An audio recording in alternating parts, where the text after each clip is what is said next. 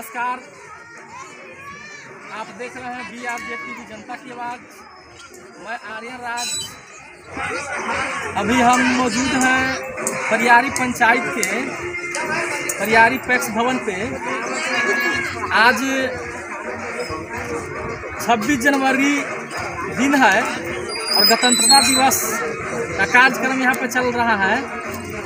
तो जैसा कि आप सभी लोग जानते हैं कि ये 26 जनवरी का जो त्यौहार है, जो पूरे भारत वर्ष में मनाया जाता है इस त्यौहार को जैसा कि भारत के आज़ादी से ही जोड़कर देखा जाता है, चूँकि ये इसमें जो ये संविधान लागू हुआ तो इसमें संपूर्ण भारत के मानव को एक सूत्र में बांधा, एक जो नियम कानून लागू हुआ और सभी को अधिकार मिला तो इसके लिए सभी लोग स्वतंत्र रूप से स्वतंत्र देखते हैं। तो हम चाहेंगे, यहाँ पे तमाम जनतागण मौजूद हैं। अभी हम परियारी पैक्स भवन पे हैं, यहाँ परियारी पैक्स अध्यक्ष जो है मौजूद है, हम जानना चाहेंगे उनसे, इस गणतंत्र दिवस के अवसर पर आपने लोगों को अभी अभी संबोधन कर रहे थे तो हम जानना चाहें कि अभी के इस आज़ादी से, गणतंत्र दिवस मनाते हैं तो इसके बारे में आप क्या सोचते हैं? पहले का जो लोग सोचते थे क्या सोचते हैं? इसको कुछ अपनी बात रखते हैं पहले अपना नाम बता दीजिए बहुत बहुत धन्यवाद। मेरा नाम सुधीर है, सुधीर कुमार।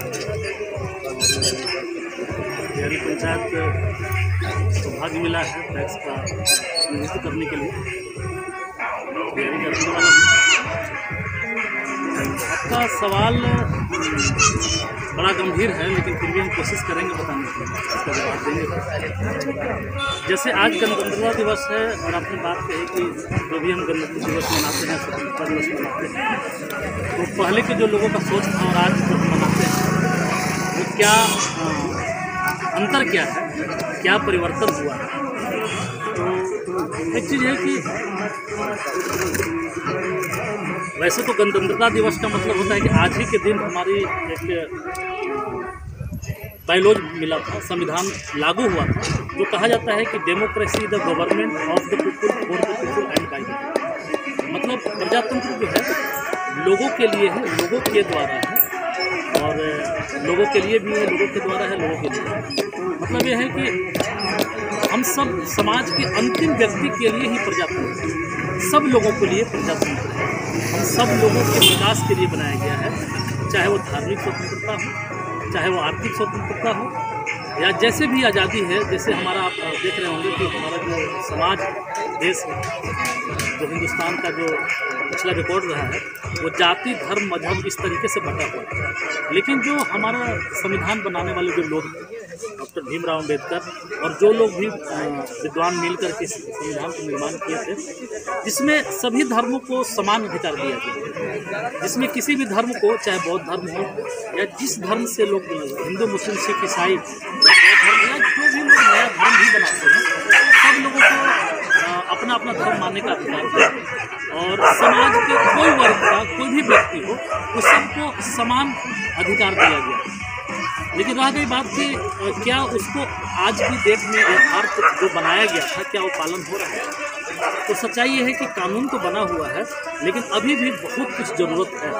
अभी भी हमको लगता है कि वर्ल्ड के अंदर जैसे हिंदुस्तान से बाहर भी देखते हैं तो जहाँ पर बहुत कुछ जो हमारे यहाँ ऊंच नीच, भेदभाव, जाति, धर्म के नाम पर जो हो रहा है, आज इतना अच्छा संविधान होने के बावजूद कहीं न कहीं वो अच्छा सा पालन नहीं हो रहा हम कहें कि अच्छा सा नहीं, बल्कि बहुत खामियाँ अभी है।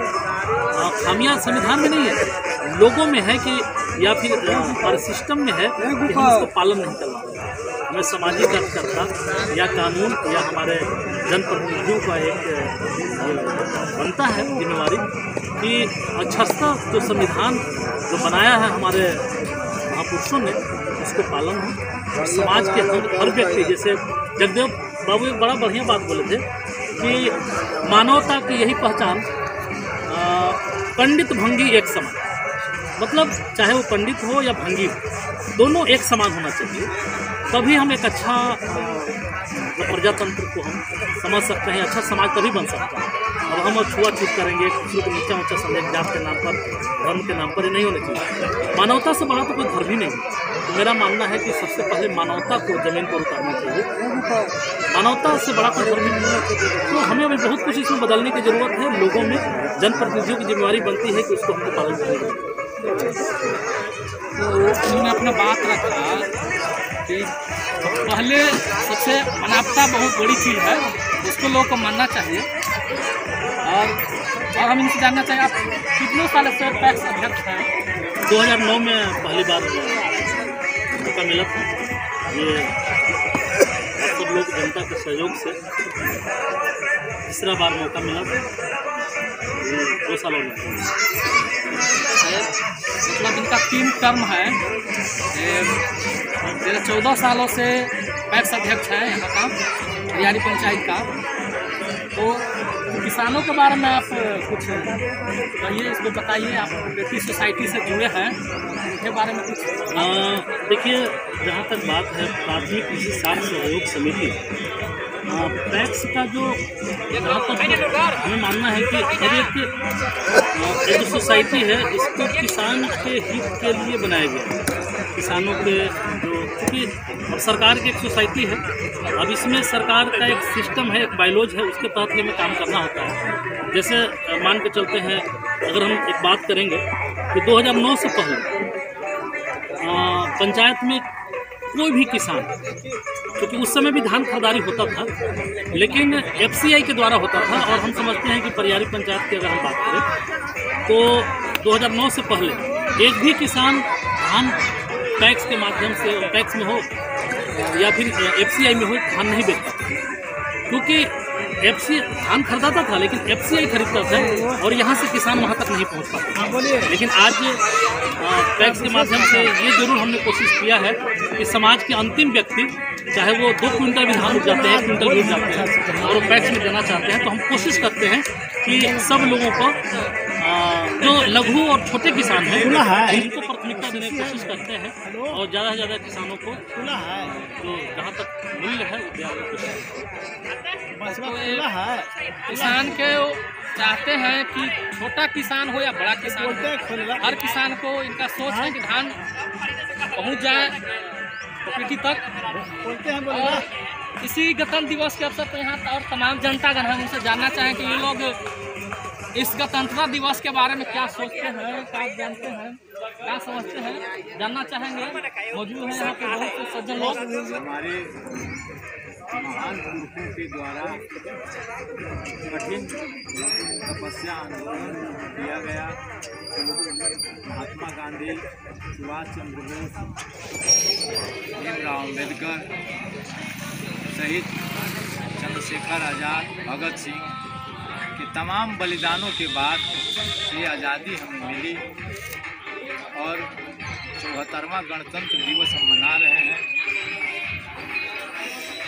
आज देश में किसानों की समस्या बहुत गंभीर है।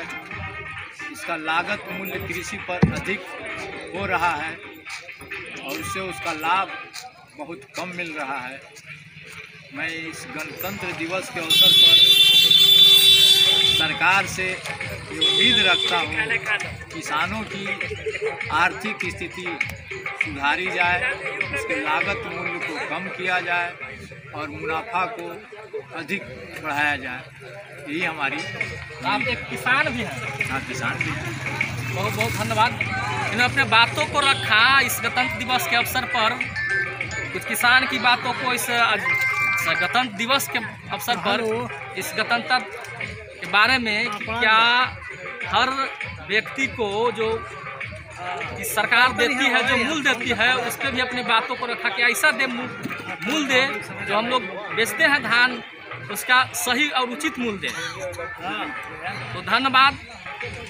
मैं आर्यन राज कैमरामैन सूरज कुमार के साथ परियारी कपी से।